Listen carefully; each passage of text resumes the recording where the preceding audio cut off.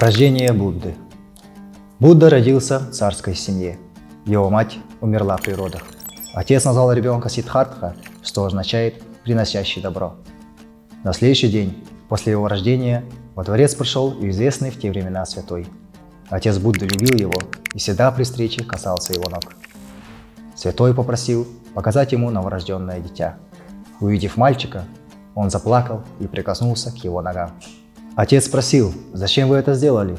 Святой ответил, я прикоснулся к ногам ребенка потому, что могу видеть будущее. Сейчас он бутон, но когда вырастет, будет прекрасным лотосом. «Почему же вы плачете?» – спросил отец Будды. «Я плачу, потому что тогда меня уже не будет на свете, и я не смогу увидеть это чудо».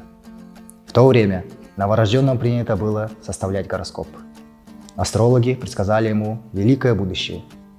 И этот мальчик будет или царем всего мира, или саньясином. Отец сказал, как это так? Вы говорите о двух крайностях. Как это возможно? На что астрологи ответили, это всегда так. Когда бы ни родился человек, способный стать властелином мира, он способен отречься от этого мира. Отец не мог понять. Он попросил, расскажите подробнее. И астрологи ответили. Мы не знаем многого о феномене саньясы, но вот что говорится в Писаниях. Когда человек имеет все, то в нем вдруг расцветает понимание, что все бесполезно. Чтобы отбросить мирскую жизнь, нужно иметь ее в полном объеме. Нужно иметь то, что отбрасывать. Чашу может отбросить лишь тот, кто испил ее до дна. Отец Будды очень беспокоился и спросил, что делать? Как воспитывать его? Он единственный мой сын. Я уже не молод, и моя жена умерла сразу после родов. Я не могу надеяться, что у меня еще будут сыновья. Мое царство может разрушиться. Дайте мне рекомендации, как воспитывать такого ребенка.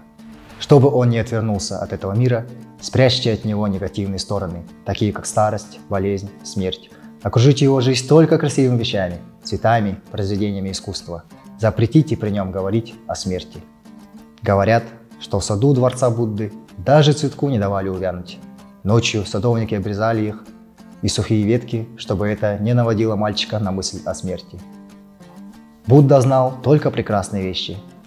Только сны, он жил в этих снах. Но реальность слишком сильна.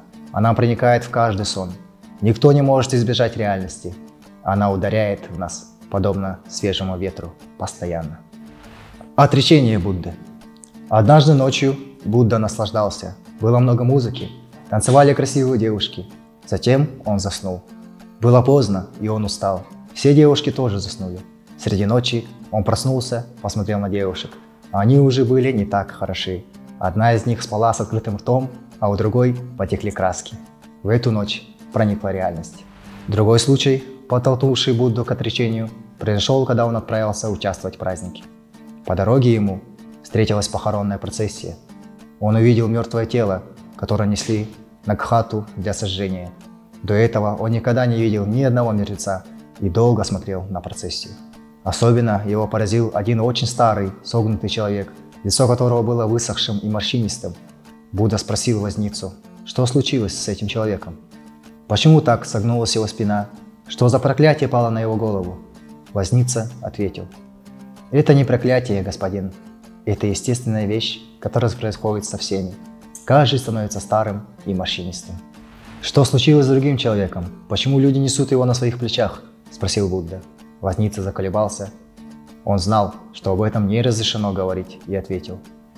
Мне не позволено говорить, но раз ты уже спросил, теперь не скроешь. Этот человек умер. И точно так же умрут все, каждый, кто родился. Неожиданно появился Саньясин он следовал за процессией. Будда спросил, а что случилось с этим человеком? Почему у него оранжевая одежда? Возница сказал, этот человек понял жизнь.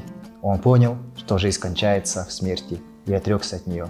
Будда сказал, поворачивай, я отрекся. Ночью он покинул дворец.